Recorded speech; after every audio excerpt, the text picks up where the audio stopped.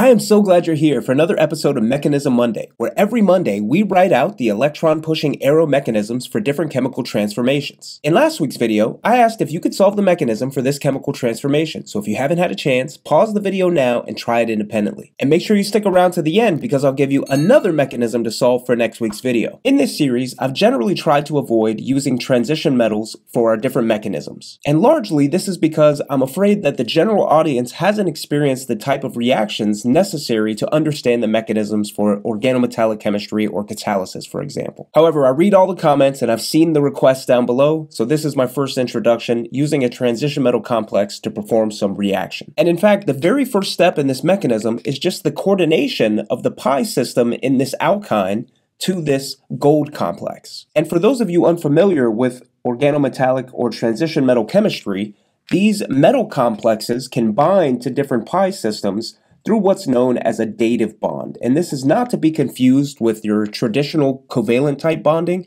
but instead this is a coordinative bond where there's not actually a sharing of electrons between two atoms equally like in covalent bonds that you're used to seeing in organic chemistry. And what's interesting about this interaction is that it leads to something called pi back bonding, which is actually going to weaken this carbon-carbon triple bond. If you're interested in learning more about pi back bonding, I have a video here that you can check out. So we can draw the product of this reaction being everything mostly still the same, where the benzene is here. I'm going to place our aldehyde in this position. We still have our alkyne, and coordinated to the alkyne is going to be that gold complex.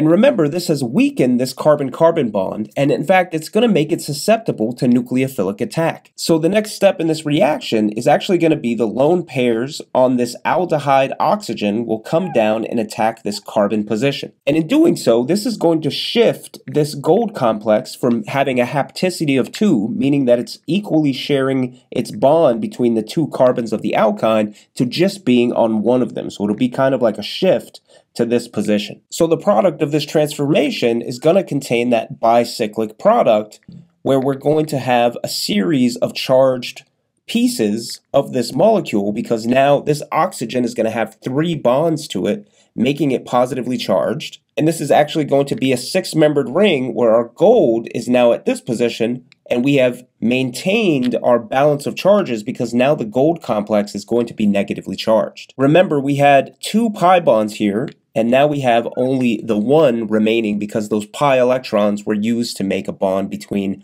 gold and carbon. And importantly, this R group is now coming off of this carbon. So if you notice in our product from our reactants, we're shifting the location of the R group. Whereas here, this is an aldehyde. On this side, on the product, we have a ketone. So that R group is shifting in this process. And this is one of the key steps that drives that rearrangement. And if you notice, we have a pi bond here and a pi bond here. And if we introduce our alkyne at this position, notice then we have the makings of what looks like could happen to be a 4 plus 2 cycloaddition, or what you may have previously heard of as a Diels-Alder reaction. So these pi electrons will come to this carbon, these pi electrons will come to this carbon, and that's going to make another fused ring system as a product of this 4 plus 2 cycloaddition. So the product of this transformation is going to contain this benzene, but now we have also created a fused cyclic ring system so we will draw in this sort of conformation to indicate that fused ring. So we still have this pi bond between the carbon and oxygen at this position, meaning that this is positively charged.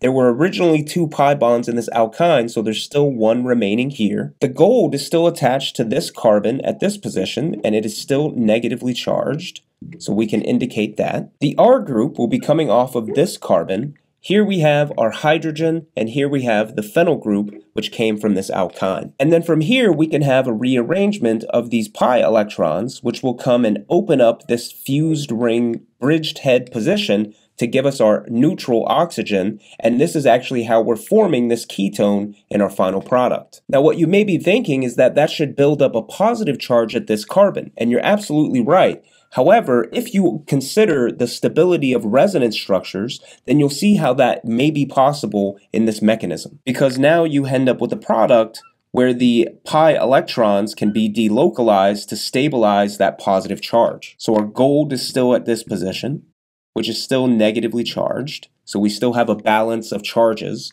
because remember what we're generating is a positive charge at this position here.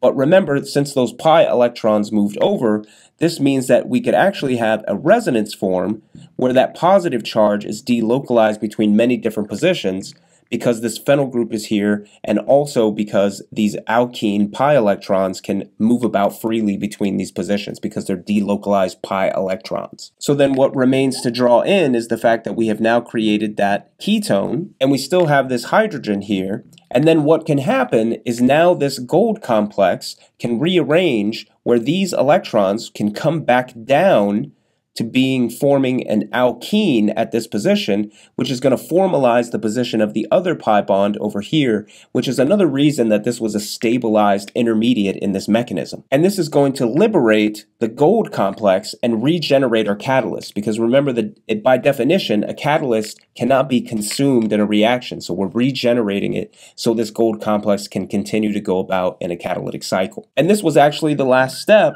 in our product formation. So then to recap, the original reaction was a complexation of this gold complex to the pi electrons in the pi bond. And this in turn makes the carbon-carbon triple bond susceptible to nucleophilic attack, which can happen via this oxygen. And this is going to make a new six-membered ring at this position where our alkyne can come in and perform a 4 plus 2 cycloaddition to give us this fused ring system where we have the bridgehead of this carbonyl compound. And then these pi electrons can help liberate that fused ring bridgehead in order to give us our new ketone, which we form in the final product, and this resonance structure stabilizes the carbocation that is formed from moving over these pi electrons. And then finally, the electrons contained between the catalyst and the carbon bond can move over to help us generate our second pi bond and ensuring that the pi electrons are located in between these two carbons in our final product. And in case you are interested in seeing the experimental evidence for this,